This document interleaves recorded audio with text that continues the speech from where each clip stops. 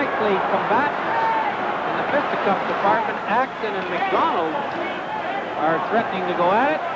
That kind of a fight nobody might win. I bet a little on McDonald. He's not the speed skater, but he's a little stronger than Keith. Hey, Acton has that fighter stare, though.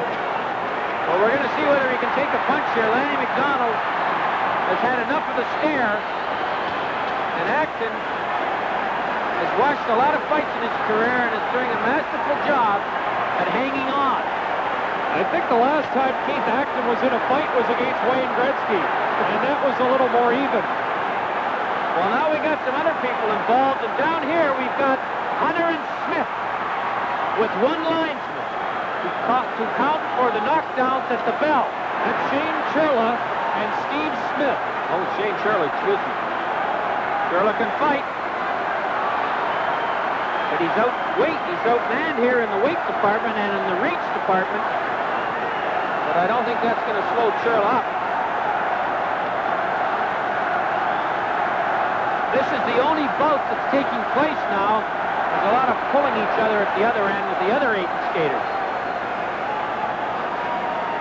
This is the last meeting of the regular season, but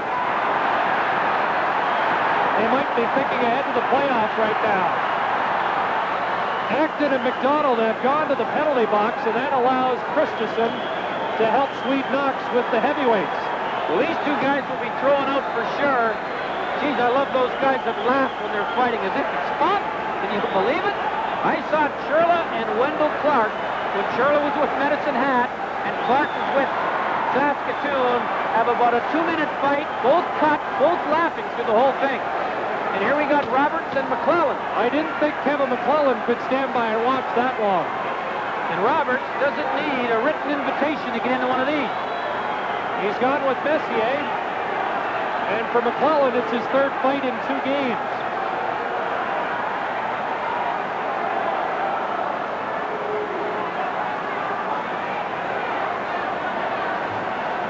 Well, Roberts, he'll do anything to stay in the lineup. He had a little taste of the pine about a week ago and didn't like it. And the one thing Calgary's got, five forwards have to sit out every night. And McClelland landed a pretty good punch as they both fell to the ice. And in what has been a fairly tame game,